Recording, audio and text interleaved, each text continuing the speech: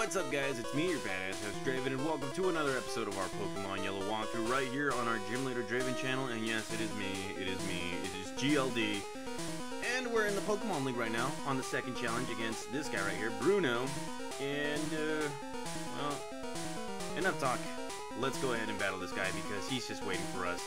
I am Bruno, the Elite Four. Through rigorous training, people and Pokemon can become stronger. I wait trained with my Pokemon, Draven. We will grind you to the down to, to our superior power. Whatever, I, did, I just messed it up. Hoo-ha! America. Okay, so here we have another battle. Second member of the Elite Four, and this is Bruno. Look at this guy, he looks scary as heck.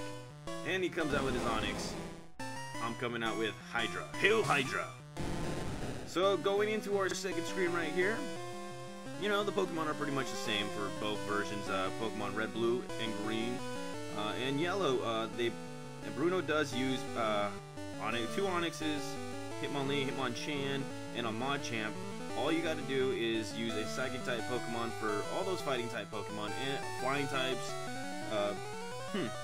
Don't forget those Water types for those pesky Onixes, and then you'll be on your way. You know, it's gonna be easy, very easy. So going back to the screen right here. Let's go. Bubble Beam. Thank you, Misty. That's right. Misty's helped us. Easy. Easy, easy. Look at that.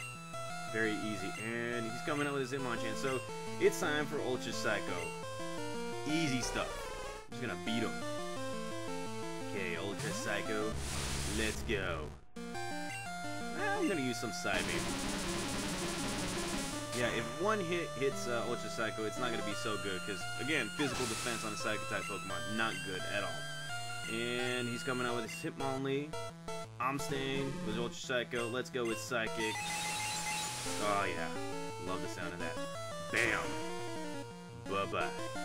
Bye-bye. There we go.